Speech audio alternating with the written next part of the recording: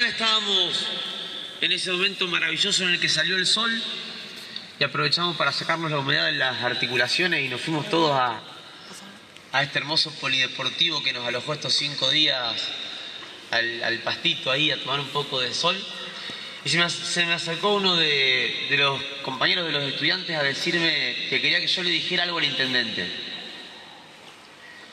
Y cuando me dijo lo que quería que yo le dijera al intendente, le dije de ninguna manera. Yo eso no se lo voy a decir. Eso se lo vas a decir vos. Así que Facundo, por favor,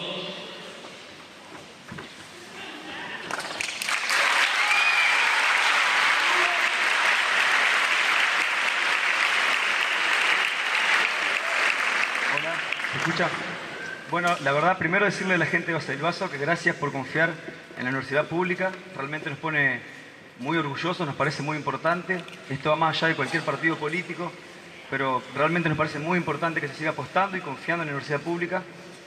Y después, por segundo punto, decirle a mis compañeros que nosotros tenemos que ser los primeros en luchar. Y cuando digo luchar, es luchar enérgicamente. Somos los primeros que tenemos que intentar que tanto la salud y la educación pública siempre sigan adelante Así que nunca nos olvidemos de dónde salimos y nada, para adelante y gracias.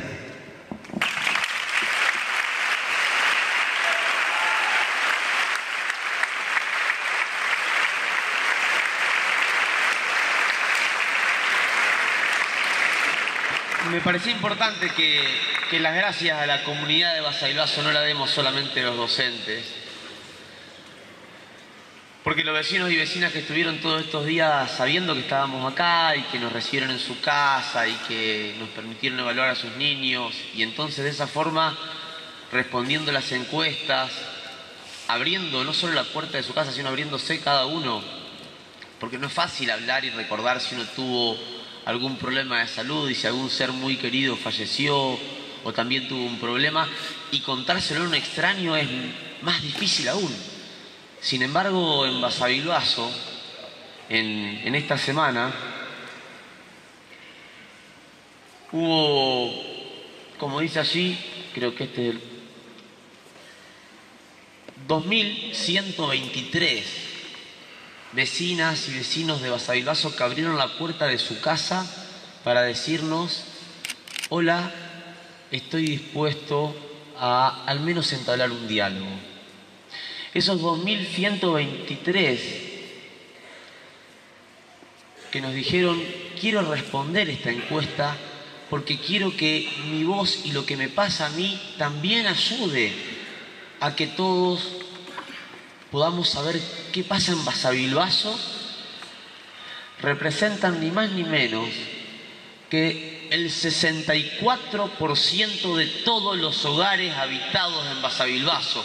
Y eso se pudo recolectar en nada más que dos días y específicamente en 10 horas de trabajo de estos jóvenes de la universidad pública que llegaron el lunes a las 8 de la mañana y desde las 10 ya estaban recorriendo cada una de las casas de esta localidad. Pero además, no solo hablaron con los que querían hablar, también hablaron con ese 14% que abrió la puerta y generosamente nos dijo no tengo ganas o no puedo, lo que quiere decir que en dos días en Basavilbaso los 190 jóvenes estudiantes de la universidad pública que llegaron acá el lunes a la mañana lograron hablar con el 78% de los vecinos de esta localidad. Eso, si no es representativo de la necesidad que tiene la población de contar lo que le pasa, creo que no hay nadie que pueda hacer algo con mayor peso que esto. Y lo digo porque me parece importante que se pueda dimensionar, que las vecinas y vecinos dimensionen qué significa esto. Esto significa que cuando hay un compromiso, que cuando hay un acuerdo de que lo más importante no soy yo, sino que es el bien común, y nos ponemos de acuerdo el Estado municipal en este caso, con la universidad pública que también es el Estado, con las organizaciones gremiales y con la comunidad, como dicen nuestras remeras y no es un eslogan, la solidaridad realmente se contagia. Y entonces pudimos estar acá durante una semana comiendo gracias a que estuvieron estas extraordinarias mujeres cocinándonos todos los días y garantizando no solo que no pasemos hambre, porque hay que decirlo, no solo no pasamos hambre, sino que además comimos rico. Y eso está bueno cuando uno se va de su casa.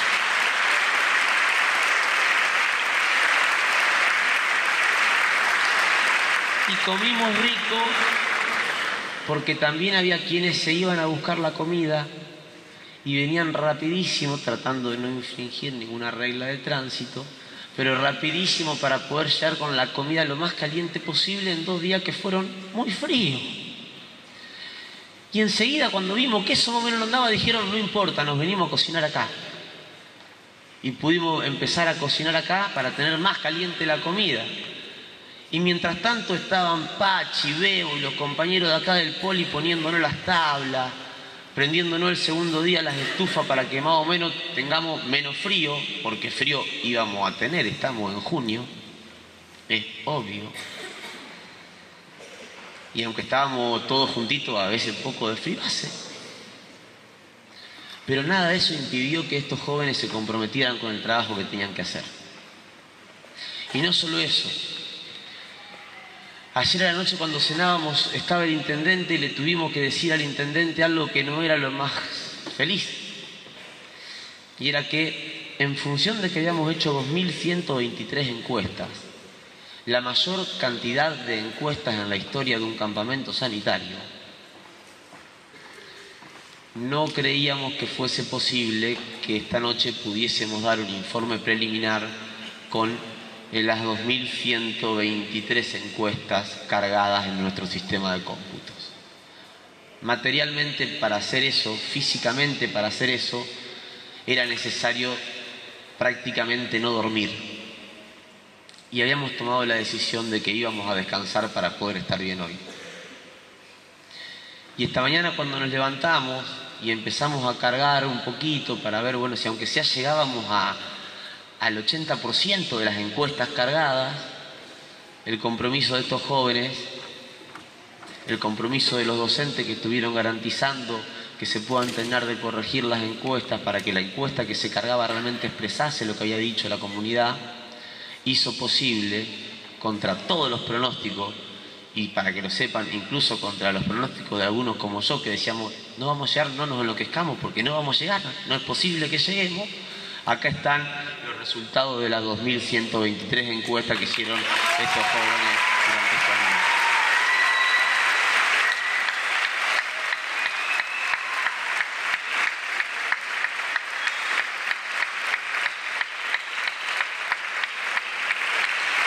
Y así es la muestra de Basavilbaso que pudimos sacar. La foto es de esta población.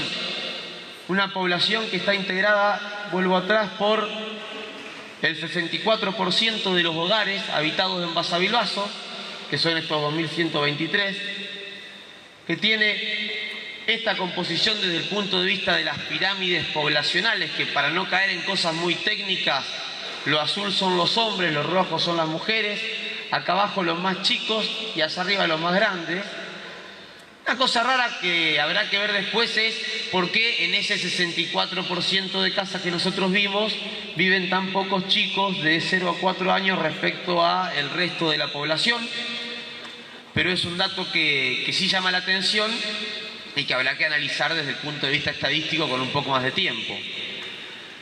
A estos vecinos se les preguntó qué agua consumían, porque el consumo del agua, el agua que uno consume puede tener impacto en los problemas de salud que uno después desarrolla. Y entonces hay un porcentaje muy importante, la mayoría, fíjense, 1.541 hogares consumen agua de la canilla hace más de 15 años. El mayor porcentaje de la población toma el agua de la canilla. Cuando tiene un problema de salud, ¿a dónde va a atenderse? Y va al sistema público. Fíjense, un 56% también va al privado y hay muchos que van a los dos. ¿Está? Y lo interesante de este dato es que cuando preguntamos si se atendía en otra localidad, un 40% se atiende en otra localidad. Lo que quiere decir que 6 de cada 10 habitantes de Vaso resuelven sus problemas de salud acá. Eso se hace en función de que uno confía en el sistema de salud local. Le preguntábamos que le pusieran nota y en la escala del 1 al 10 es un distinguido la nota que saca el Hospital Público de Vaso, lo cual debe ser un orgullo para los habitantes de Vaso.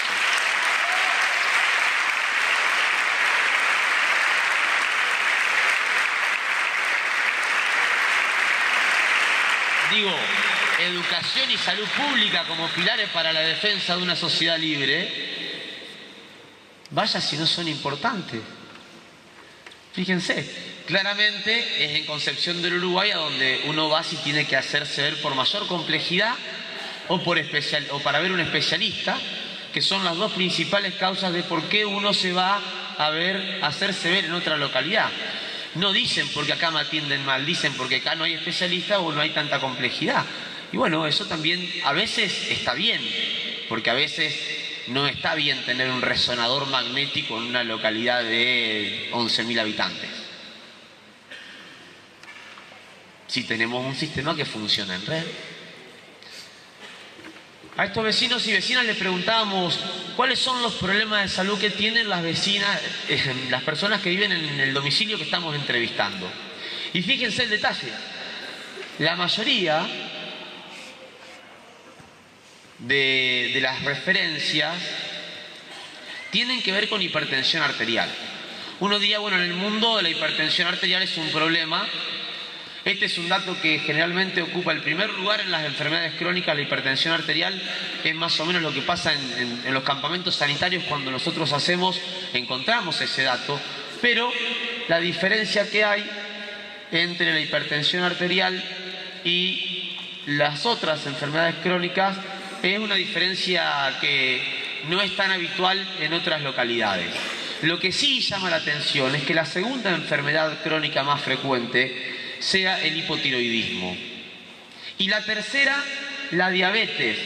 Dos problemas de salud que tienen que ver con una dificultad de funcionamiento del sistema endocrino. Y esto es interesante para que empecemos a prestar atención desde el punto de vista sanitario respecto a qué puede estar ocurriendo que nuestro sistema endocrino, nuestras glándulas, están teniendo algunos problemas para poder funcionar correctamente. Y vinculado con lo que decía Damián hace un ratito, el asma aparece como el cuarto problema de salud, crónico más frecuentemente referido. Si esto que Damián observó se confirma cuando él haga sus análisis de las pruebas de, de las trampas de aire, uno podría quizás darle alguna relación con que la cuarta enfermedad crónica más frecuente es una enfermedad pulmonar, digamos, una enfermedad respiratoria. Después aparecen otro tipo de enfermedades que tienen, fíjense, mucho menos presencia en la referencia de las poblaciones que estas primeras. Y si agrupamos, en vez de por cada enfermedad, como lo dijo cada vecino, por grupo de enfermedades como se hace a nivel internacional en los clasificadores, para poder establecer comparaciones, acá encontramos lo que decíamos, las enfermedades del sistema circulatorio están en primer lugar, en segundo lugar las endócrinas, en tercero las osteomusculares, esto también, y de las articulaciones, esto puede tener que ver con el aparato locomotor y las artrosis que aparecían antes ahí, y en cuarto, acá está el sistema respiratorio. Lo que aparece dentro de las 10 principales causas también, que a nosotros nos llamaba la atención, es las malformaciones congénitas entre las 10 principales causas, que es algo que no podemos establecer tasas de incidencia o prevalencia porque no tenemos todavía el análisis profundo, pero no había aparecido en otros campamentos sanitarios entre las 10 primeras causas de enfermedades crónicas referidas y aquí sí han aparecido. Cuando preguntamos ya no de la crónica, sino de lo que pasó en el último año para sacar la foto más reciente, lo que vemos es que el sistema respiratorio aparece con gran fuerza. Le siguen el digestivo, osteomuscular, acá está el circulatorio.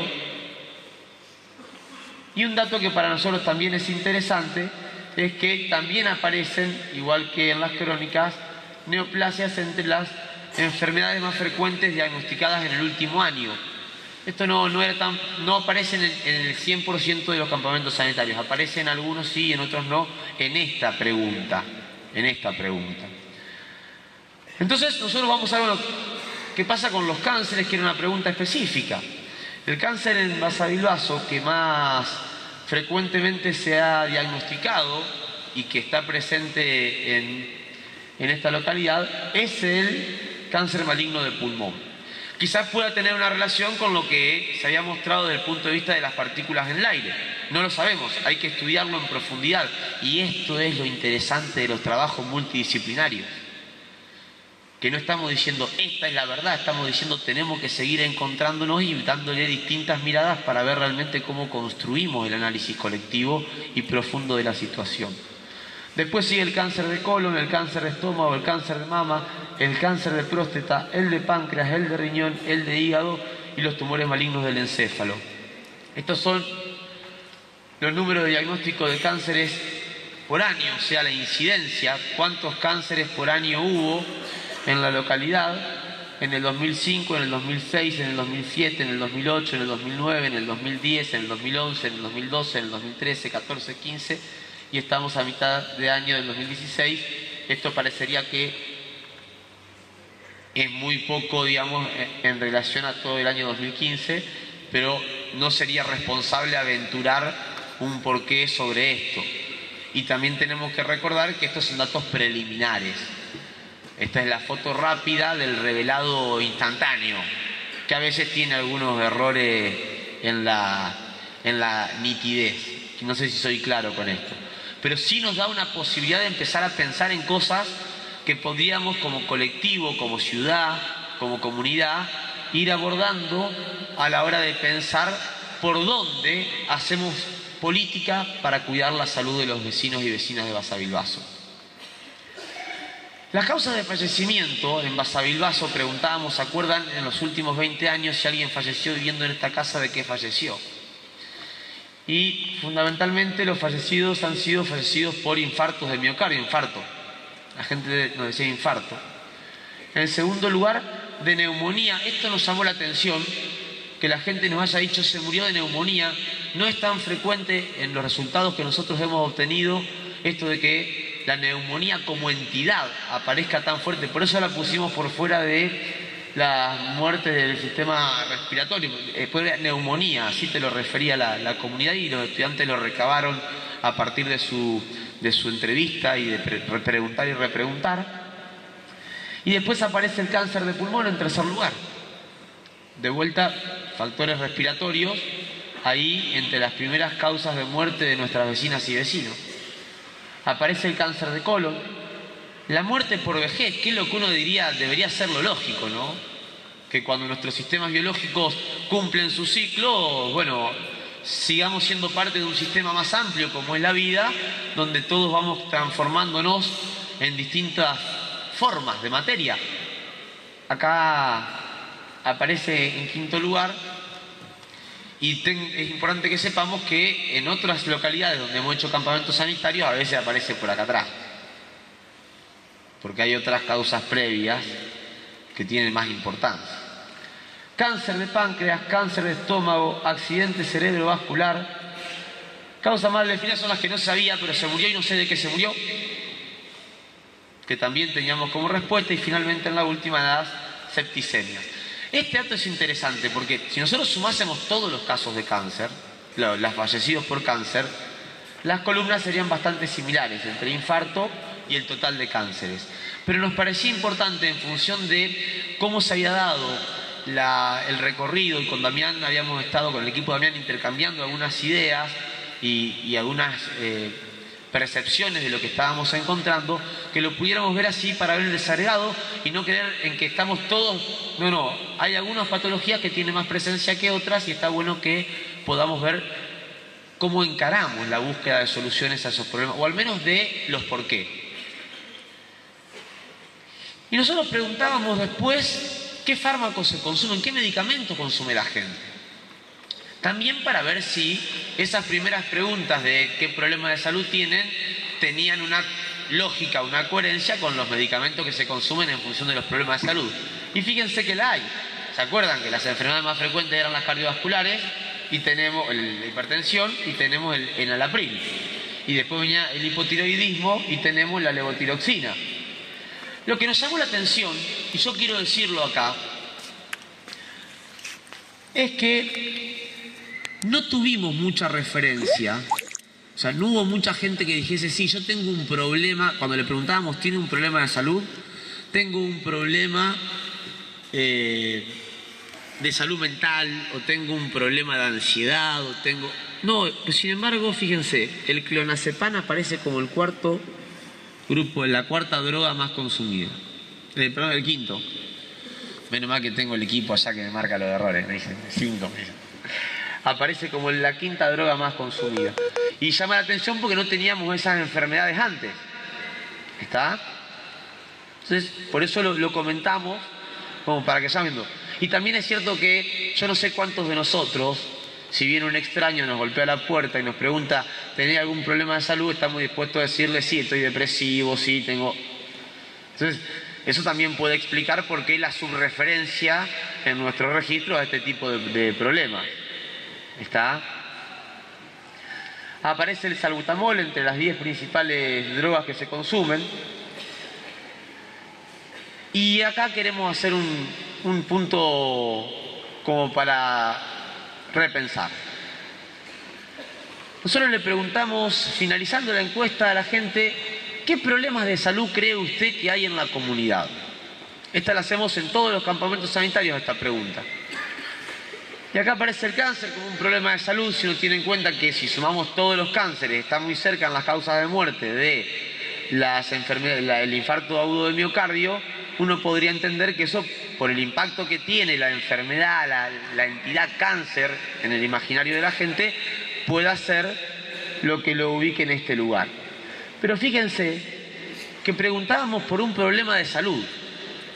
Y es la primera vez que en estos campamentos sanitarios, cuando preguntamos por un problema de salud, en la pregunta problemas de salud, aparece como problema de salud fumigación y agrotóxicos tan cerca de las más nombradas. Nos llamó la atención porque uno diría, nosotros como médicos, no es un problema de salud, un problema de salud es una enfermedad. Para nosotros como médicos estaríamos esperando esa respuesta. Sin embargo, nos pasó esto que nos llamó la atención y esto de adicciones y malformaciones que también nos llama la atención en un contexto en el que no hayamos tenido ninguna referencia, ah, sí, a mí en mi casa tenemos problemas de adicciones, por un lado, y por otro lado, esto de que las malformaciones sean referidas por la comunidad, identificadas por la comunidad como un problema de salud, tiene una relación con el primer cuadro que habíamos visto en el primer gráfico, donde veíamos que las malformaciones están entre las principales causas o las principales referencias de enfermedades entre la comunidad. Soy más o menos claro con esto, como para que vayamos pudiendo construir una idea preliminar, una, idea rápida, inmediata de lo que pudimos hacer entre todos esta semana y que en función del volumen de datos, el volumen de encuestas tan grandes que pudimos hacer y que terminamos cargando a las 3 de la tarde, no tuvimos posibilidad de analizar en profundidad, pero no nos podíamos ir de Basavilbaso sin decirle a las vecinas y vecinos de Basavilbaso, sin decirle al intendente que como autoridad tomó la decisión de no esconder debajo de la alfombra las cosas, sino ponerlas arriba de la mesa para decir, bueno, a ver, ¿qué hacemos ahora? Vamos a ponernos de acuerdo todos. Porque esto no puede ser para que después salgamos a ver cómo nos pegamos en las canillas entre nosotros. Esto es para que de acá en adelante salgamos todos juntos a ver cómo todos juntos hacemos algo para que nos cuidemos entre todos juntos. Eso es la ética del cuidado. Y en ese sentido, conocer qué es lo que pasa es fundamental. Si a la gente le preguntamos, ¿considera que hay alguna fuente de contaminación en el pueblo? Fíjense que el frigorífico aparece como la, fuente de contaminación más referenciada. Aparece en fumigación y agrotóxicos, fábrica de alimentos, basural, fábricas en general, criadero de animales, transformadores, molinos arroceros. A los vecinos que nosotros entrevistamos, a ese 64% de hogares, esto es lo que les aparecía como un problema de contaminación en el pueblo. Lo que no quiere decir que no haya otros que sean estos los únicos o que estos no sean tan importantes. Nosotros no lo sabemos. Nosotros lo que decimos es esto es lo que los vecinos de Basavilbaso nos ayudaron a construir. Y esto es importante porque esto es recuperar la voz de los que muchas veces no tienen voz. Y los vecinos que están acá presentes, que son muchos esta noche, tienen que saber que si hoy estamos acá es porque hay decisiones políticas para que estemos acá.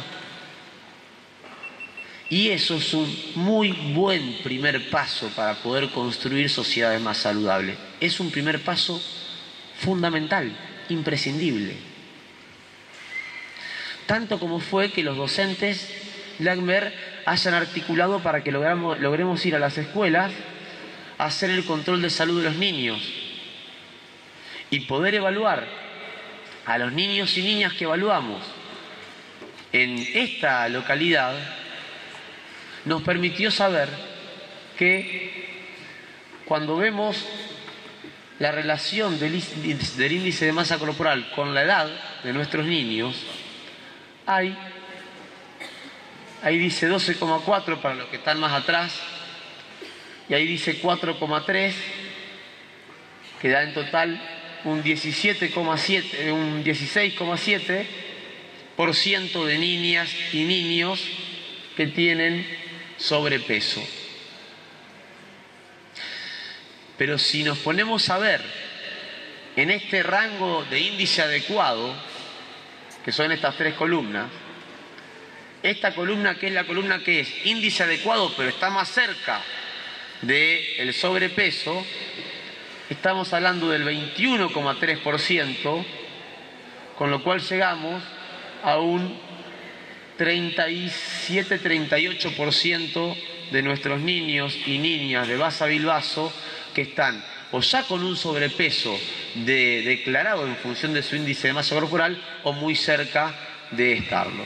Y esto debe también llamarnos la atención porque identificar esto a tiempo es un paso esencial para empezar a ver qué podemos hacer para que estos niños puedan revertir esas situaciones ahora y no sigan construyendo perfiles epidemiológicos que pueden ser mucho más dolorosos y mucho más y absolutamente irreversibles en un futuro. Y para ponernos a pensar qué pasa, hay que aprender a relacionar, le decíamos a estos jóvenes en nuestras clases. Relacionar lo que en la vida está relacionado y nos hicieron creer que está todo fragmentado. Vimos que tenemos problemas endócrinos en los adultos. Vimos que tenemos a nuestros niños con sobrepeso o con obesidad vimos que tenemos problemas respiratorios, vimos que tenemos algunas partículas en aire. Empecemos a relacionar, no para entrar en paranoias, sino para poder conocer qué pasa y conociendo qué pasa definir política. Los niños en un 56%, nosotros no somos odontólogos, pero mirando macroscópicamente a simple vista pudimos identificar en un 56% de los niños que evaluamos caries. Y esto no es un dato menor, porque un chico con caries, un chico al que le duele la boca, un chico que no se puede alimentar porque empieza a perder sus piezas dentarias desde chico, es un chico que tiene no solamente problemas de nutrición, también va a tener problemas para poder prestar atención y para poder avanzar en el sistema educativo. Y estas son cosas que pueden prevenirse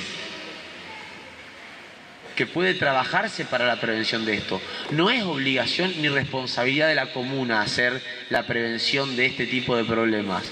Pero ahora que la comuna lo sabe y que los vecinos lo sabemos y los maestros lo saben, podemos ponernos de acuerdo para hablar con las autoridades que tengan la posibilidad de empezar a implementar políticas para mejorar la salud bucal de nuestros niños. Después, bueno, también revisábamos la agudeza visual. Fíjense que la gran mayoría de, nuestros, de los niños que evaluamos tienen una agudeza visual normal para su edad y aquí tenemos un 36% que nosotros recomendábamos que pudiese ir al oftalmólogo al que no lo estaba haciendo, ¿está? como para ver que no tenía lentes si los podía tener y quien ya los tenía si los podía revisar, porque tampoco somos oftalmólogos. Y esto lo que se hizo fue un screening, o sea, un barrido para tener una información general. Con esto nosotros vamos a terminar esta primera etapa que es la etapa de los datos, de los números, de lo que nos da una herramienta para poder hacernos una idea de qué está pasando en Basavilbaso. Pero no queremos terminar esta presentación solamente con este muchas gracias. No queremos que esto quede como que, ah, bueno, ya está, dijeron los números muy bien. esta es la situación y ahora que se las arregle Gustavo y su equipo, o que se las arregle las compañeras de Agmer, o que se las arregle el director del hospital. Nosotros ya está. Nosotros ahora queremos aprovechar para que entre todos nos animemos a pensar qué significan estos datos. ¿Qué significa para Basavilbaso contar con estos datos? Y en lo personal, permítanme exceder su confianza y su paciencia, diciéndoles qué significa para algunos de nosotros tener hoy la posibilidad de compartir estos datos. Hoy es 3 de junio. Uno podría decir, sí, ayer fue 2 y mañana será 4. ¿Cuál es? El 3 de junio no es un día cualquiera para los que vivimos en este lugar del planeta. Aunque no lo sepamos. Claramente para 190 personas que están hoy acá, tampoco va a ser un día cualquiera este 3 de junio. Pero yo no soy de los que creen en las casualidades. Y digo esto porque hoy 3 de junio es un día que nos permite pensar y recordar a alguien que tuvo mucho que ver con que nosotros estemos acá.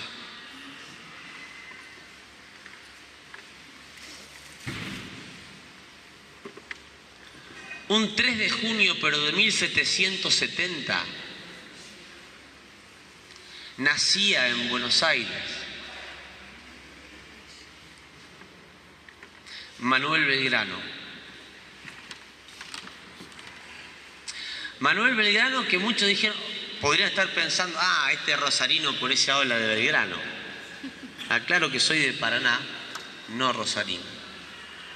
Y que hablo de Belgrano porque yo creo que quienes van a tener la posibilidad de ver todos los días en su lugar de trabajo o en su casa donde cuelguen el diploma la fecha del día de hoy,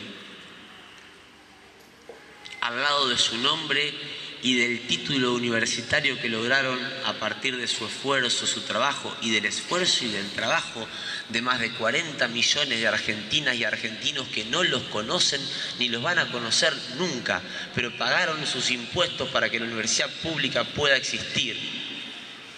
Tienen que saber, al menos nosotros necesitamos decirle que nos encantaría que sepan que este día, para muchos de ustedes tan importantes, es el día que nació no el padre de la bandera, sino uno de los forjadores de nuestra patria que dijo en, la en, las primeras décadas del siglo XIX que sin educación pública para toda la población era imposible construir la revolución y era imposible construir una nación independiente y soberana.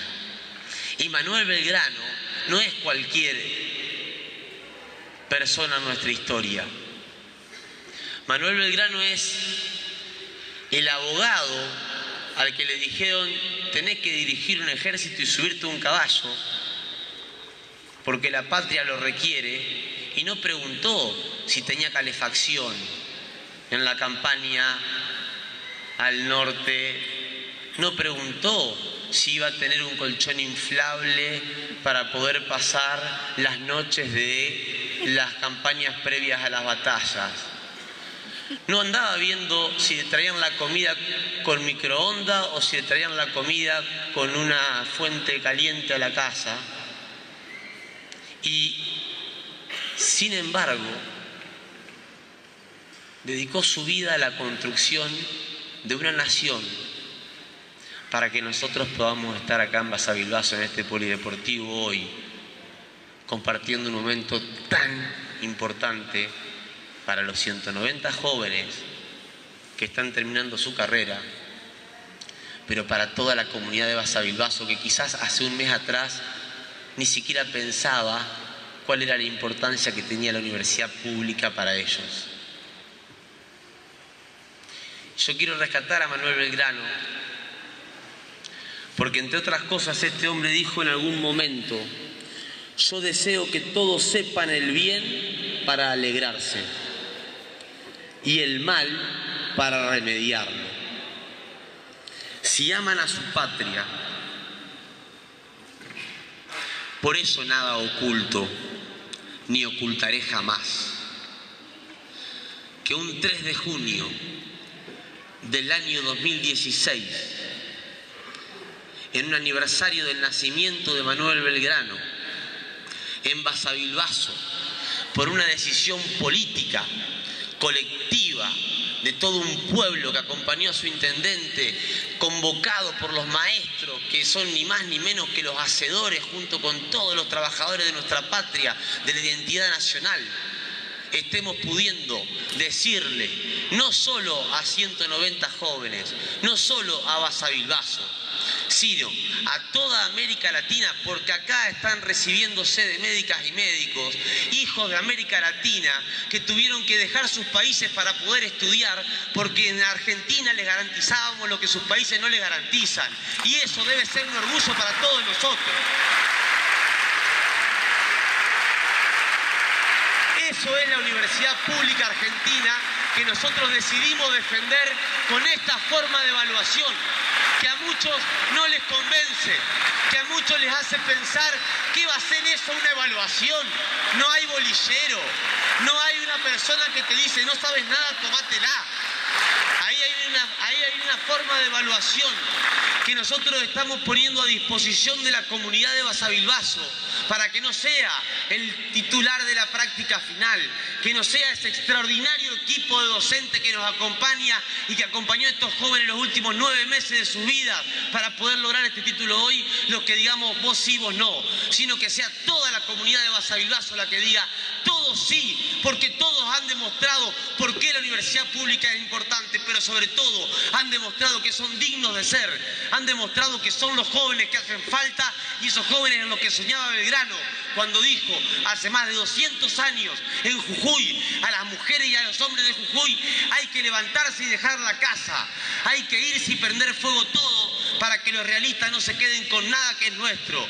Y la gente se levantó, hizo el éxodo jujeño y también ahí nació la patria. Estos jóvenes hicieron hoy un éxodo, los que vinieron de otros países hasta acá, los que vinieron de Rosario hasta acá para decirle a vasailazo al país de América Latina, estamos defendiendo la universidad pública porque la universidad pública es la única que puede hacer este tipo de construcciones sin ningún tipo de compromiso político partidario, sin ningún tipo de compromiso económico y solamente pensando en el bienestar de la comunidad, que es la que nos permite estudiar, que es la que nos permite trabajar y es la que cada uno de los que estamos acá le debemos haber podido estudiar, obtener nuestro título y con la que tenemos que tener siempre claro que tenemos una obligación de por vida.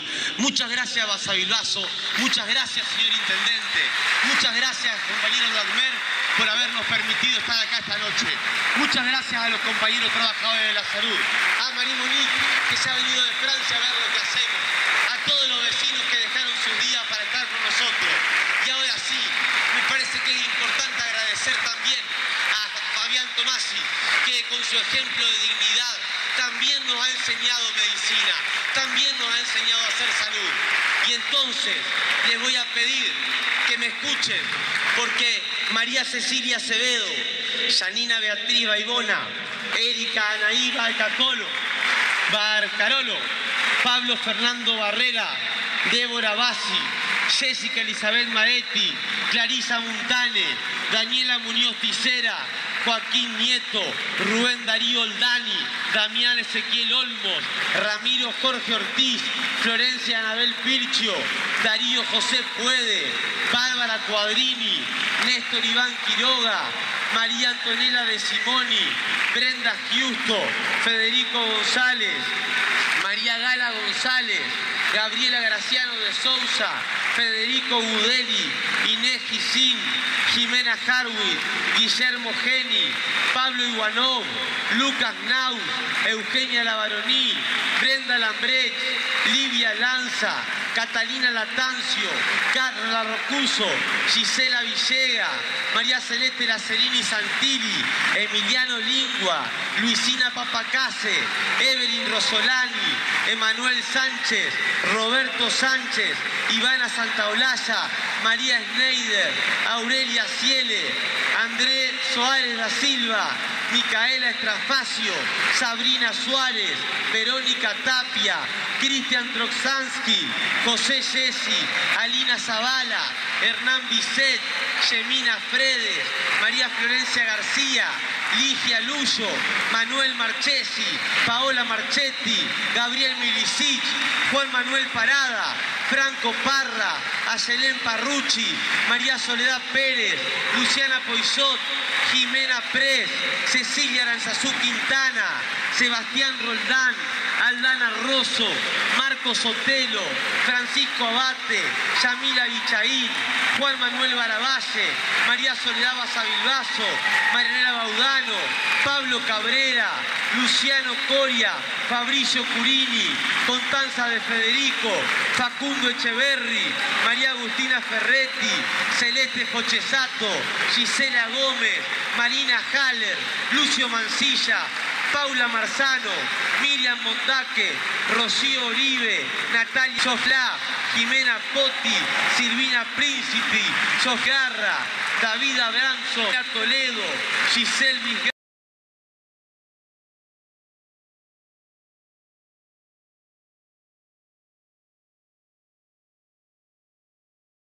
Miguel. David Abranson, Aymarán Diano, Josefina Bartolini, Victoria Belfer, Lautaro Bulacio, Luciana Caballero Villarreal, Leandro Cañoni Chalú, Ariel Casalucci, Janina Seaglio, Fernando Pizarro, Flavia María Alberto, Estefanía Alcebaray, Juan Ignacio Cárcamo, Cecilia Ida Carnovale, Lumila Débora Cases, Leonardo Raúl Cosi, Fiorella Dilda, Giselle Dituro, Pablo Galarza, Marina Lucci, Soledad Bella, Jamín Cortés, Mercedes Cortese, Florencia Corbalán, Analía Cuatro Casas, Aranzazú de Luca, Josefina Dibaján, Melisa Domingo, Gabriel Dutra, Solán Eichmann, María Luz Leonori, Mateo Escalante, Sebastián Figueroa, Julia Paz, Luis Espinosa González, Sabrina Cay Colquerré, Luis Espinosa González, Sabrina Esquivel, Flavia Facinetti, Franco Faciuto, Denis Fornacier, Rocío Galante, Emanuel Gallardo, Elisa Gerardi, Mauro Giovanelli, María Laura Gómez, Mariana Gómez Obregón, Nahuel Servini, Rodrigo Bautista Coronés, Juan Eduardo Correa, Javier Cuquejo, Valentina del Baldo, Jeremías de Rico, Marcela Farmar, María Florencia Foyater, Joana Gómez, Sofía Servo, María Agustina Estudillo, Lucas Badano, Mariano Javier Valdañá, María Florencia Valparda, Paola Bandeo, María Manuela Barranco, Sebastián Galeano, Virginia Garré, Cristian Gazzani, Juan Gerber, Margarita Mariano, Ana Laura Martínez, Daniela Maspoli, Carla Mieres, Joana Mineta, Cristian Ormaechea, Virginia Ronchi, Juan Carlos Ruiz, Lucía Zagardoy, Luisina Sanchi, Danisa Sobovich, Paula Sangroni, Estefanía Borra, María Florencia del Soglio, Carla Escobar, Marisol Gallo, Sofía Garófalo, Rocío Jiménez, Emanuel González, Nayara Pons, Franco Rechini, Santiago Ricci, Pablo Rodríguez Silva, Tobo Eduardo, Cristian Troilo, Carolina Trovina, Ángeles Ucelio, Juan Villagra Regocio, Pablo Zavala, Queridos colegas, felicitaciones y sean dignos de ser. La patria nos está esperando y Basay Lazo nos los agradece. Gracias a todos, gracias Intendente, gracias a ustedes por hacernos sentir orgullosos y demostrarnos que vale la pena confiar y creer en los jóvenes